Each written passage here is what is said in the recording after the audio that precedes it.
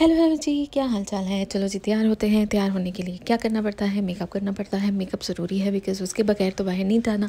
Makeup के बिना क्या मज़ा यार? सो मैंने जल्दी से कंसील कर लिया अपने अंडर आई पे और फेस पे फाउंडेशन ही लगाई। मैंने पहले लगाया टू फेस का कंसीलर देन मैंने लगाया इनफेलिबल और उसको मैंने अच्छे से ब्लेंड कर लिया है। कोई फाउंडेशन नहीं है। ब्लश लगाऊँगी और टू का stick foundation one of the best stick foundation बड़ा अच्छा है यार। जुएर का मैंने ब्राउज़र यूज़ किया है यहाँ पे। शेड है कैपेचिनो कैपेचिनो वैसे मैं पीती नहीं हूँ बिकॉज़ मुझे माइग्रेन होती है। डॉक्टर ने मना किया है। सो मैं मुँह पर ही लगा लेती हूँ। खुश हो जाती हूँ। ऐसे ही सही, ठीक है।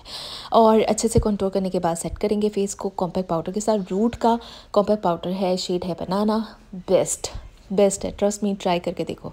उसके बाद है शनेल का blush shade is really pretty फिर मैं थोड़ा सा लाइनर पेंसिल के साथ ही लगा लूँगी। थोड़ी सी आँखें गहरी हो जाती हैं ताकि आराम से कोई डूब सके। फिर लिपस्टिक लगा लेंगे सेफाइट की और mascara and then I am ready